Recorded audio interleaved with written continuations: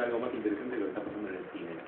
Es una, eso da para otra mesa, que también es muy interesante, porque yo un poco a veces creo en eso, eh, sin embargo son dos formatos muy distintos y creo que no hay que compararlos. Pero es verdad que pasan muchas cosas muy interesantes en las series y como decía, en las series locales. Y toda esta gente que está eh, aquí en, la mesa eh, hizo películas, hizo, hicieron guiones de películas, eh, tienen un presente, digamos, como, como realizadores cinematográficos muy interesante, pero también como realizadores de series y los productos que ellos hicieron, que son muy recientes, algunos todavía, eh, se puede ver hoy mismo, eh, se está emitiendo en la televisión abierta, eh, están ahí para ver, son muy nuevos, y uno de ellos, el de En el caso, eh, Cromo, eh, fue seleccionado para el Festival de Cine de Toronto, y ahí cuando se nos prendió la lamparita y decir, bueno, eh, algo está pasando con las series, mucho más de lo que pensamos. Son parte de un festival de cine.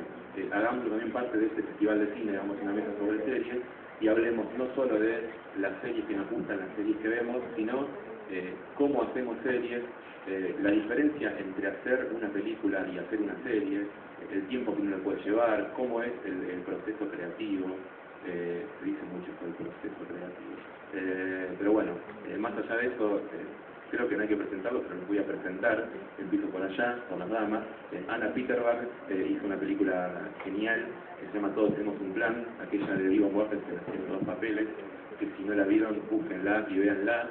Eh, ella hizo junto a Fernando Spinner, que está aquí a mi lado, eh, hicieron la, la, la adaptación de Los Siete Locos eh, de la novela de Roberto Arlt, se animaron a hacer esa locura, no sé cómo hicieron, le salió muy bien eh, y se vio hace muy poco en la televisión pública. Lucía Puenzo, eh, bueno, directora de XPTC, eh,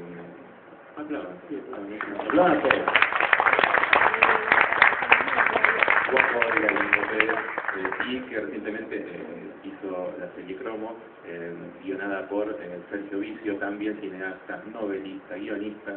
Estoy saqueándome cosas, porque Lucía también es, novel, es escritora, eh, hizo un montón de novelas. Fernando no hice ninguna película de Fernando, de la cual soy muy fan. Adiós querida Luna, La Sonámbula. De hecho hizo una serie hace mucho tiempo. ¿Cuándo la vas a, a la serie? ¿Cuándo, ¿Cuándo vuelve al festival? Hizo una serie que se llama Baja Mar. Es como antes que nadie. Es como la Twin Peaks argentina, más o menos. Eh, una cosa que, que hace 20 años que la hizo.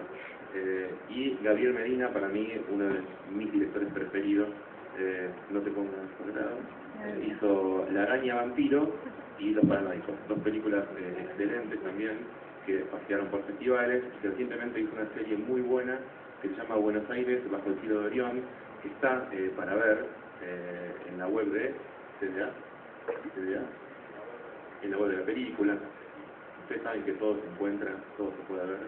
Eh, así que bueno, hablaremos un poco de todo eso. Eh, el que quiera empezar a hablar más